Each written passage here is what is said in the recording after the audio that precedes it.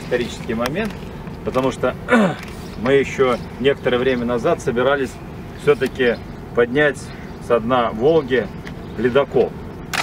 Помните? Но одни специалисты говорят, в каком он состоянии сегодня, лучше это не делать. Другие говорят, как это сделать и поднять.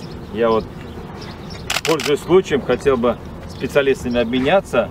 Может и это будет возможно. Ну, чтобы подумать все вместе, да? Такая задача все равно у нас стоит, в каком бы он состоянии не был. Можно всевозможные реконструкции при сегодняшних технологиях провести и восстановить его.